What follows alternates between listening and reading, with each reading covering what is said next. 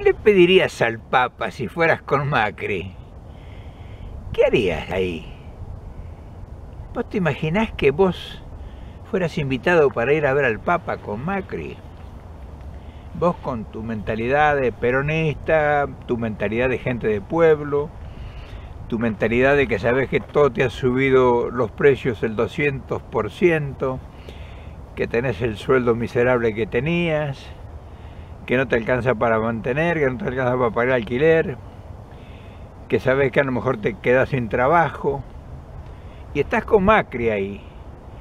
Y Macri le dice que, le dice al Papa que el país está floreciente, que por fin el país está logrando desencajarse de toda esa escoria que tenía, que era el kirchnerismo, los peronistas, los negros y todo eso, y, que, y vos estás ahí.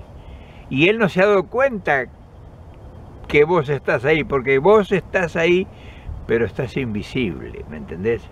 Porque es la única forma que vos le podés escuchar a Macri las mentiras que le dice al Papa. Y claro, el Papa sabe que vos estás ahí, porque el Papa tiene facultades especiales que Macri no lo sabe. Entonces vos estás ahí presente y Macri empieza a contar una cantarela de procesos. Dice que ha destrabado la economía, que el país está floreciente, que están eh, hablando capitales de todas partes del mundo que quieren venir a invertir a Argentina y que ahora eh, ya se liberó del cepo y que, en fin, que todo está hecho una fiesta. Que por qué no viene a la Argentina. Y vos que estás al lado, estás viendo cómo le miente al Papa.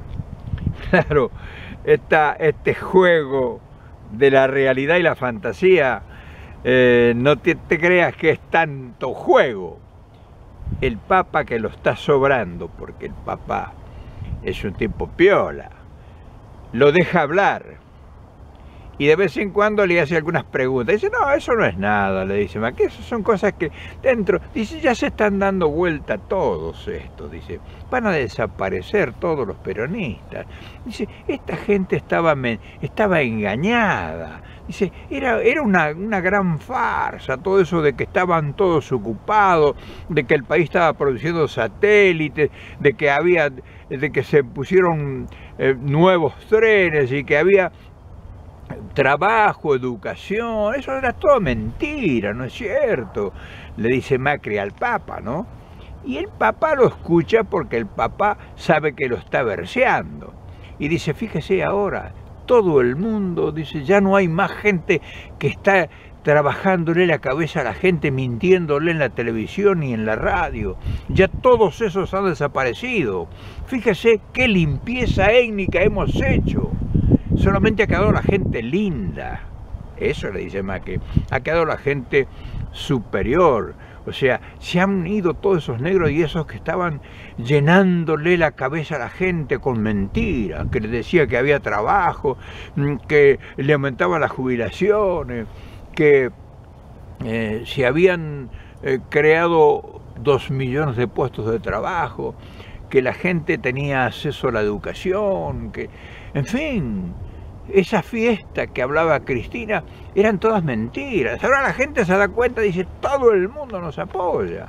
O sea, y usted lo sigue escuchando, de lo, mal que había quedado el país este, con estos Kirchner que habían corrido al Fondo Monetario, que habían corrido a las grandes corporaciones, que tenía problemas con todo el mundo, que no se conseguían dólares, que en fin, que problemas de que no quería pagar la deuda externa, que no quería pagar los fondos buitres, y que ahora no, ahora la cosa está, todo el mundo quiere venir a Argentina a invertir. Y entonces este, el Papa sabe que le está sanateando, si el Papa es vivísimo.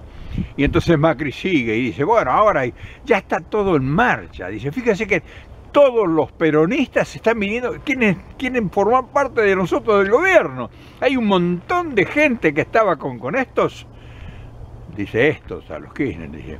Dice, además, este, Cristina, dice, esta mujer pobrecita estaba, estaba enferma, dice, lo que hacía. Fíjese que ahora la gente se ha dado cuenta. Ahora la gente de, ellos mismos se da cuenta y todo el mundo quiere venir a ser parte nuestra. Dice, es una, es de, verdad, dice, usted debiera ir a ver el cambio que hay. Entonces el Papa le dice, dime Mauricio, ¿y qué pasa con ese tema de los de la suba de los precios y todo, que, que se ha disparado una gran inflación y que no, eso no es nada. Eso pasa porque ellos no tenían el INDEC. ¿Se acuerdan que era una farsa el INDEC? ¿Y ahora cómo está el INDEC? Le dice el Papa. Ah, no, bueno, ahora, mm, ¿cómo vamos a poner a, a funcionar el INDEC? Dice, tenemos que sincerar todo, pero vamos a esperar un tiempo, porque ahora, ¿cómo vamos a sincerar los precios? Es imposible. Y usted que está al lado se muere por querer intervenir, pero usted sabe que usted no tiene que hablar una sola palabra. Además, usted es el hombre invisible, está escuchando. Y el Papa le hace cuatro o cinco preguntitas que él, no, dice, esto, usted no se imagina, es una fiesta el país.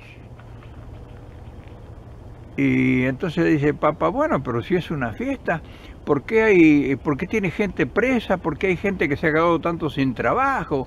Hay miles de gente que yo veo y me vienen a decir que se han quedado sin trabajo. No, eso eran todos unos vagos. Eran, vivían del gobierno, todos vagos. Eran un montón de gente, todos vagos, todos ñoquis. Dice, pues, y, este, y ahora vamos a meter preso a otros más que son unos grandes delincuentes, dice. Este, ahora tenemos, por ejemplo, a esa tipa que hacía, dice que hacía viviendas y que ayudaba a los pobres en Jujuy. La hemos metido a presa. Dice, y no sería nada raro, dice que caigan otros pescados grandes presos también. Pero ¿qué piensa hacer? Le dice el Papa C. O sea, el Papa sabe lo, cuál es la idea de él. Y no sé, ahí vamos, estamos evaluando. ¿Y usted piensa meter la presa a Cristina? Le dice el Papa. ¿Y quién sabe? No, Mauricio, dice, sería un gran error el suyo, no vaya a cometer esa barbaridad. Dice, bueno, yo vengo para que usted me dé la bendición. Yo vengo, dice, yo vengo para que usted me, bendiga, dice, y, yo, y le pida a Dios, rece por mí, y que, que me vaya bien en todo esto, porque fíjese cómo estamos cambiando el país.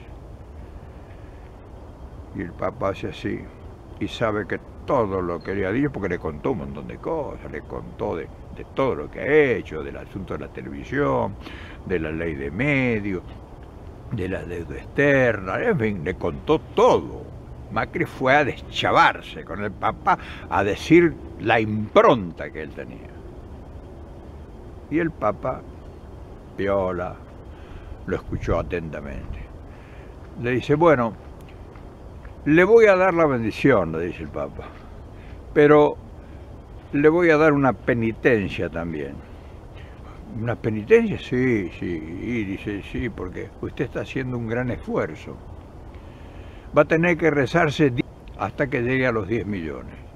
Esa es mi penitencia, dice. Yo, dice, considero de que usted, eh, en fin, dice, no me haga hablar, Mauricio vaya, dice, vaya con Dios, que Dios lo acompañe, porque va a necesitar usted mucho que Dios y la providencia lo acompañen.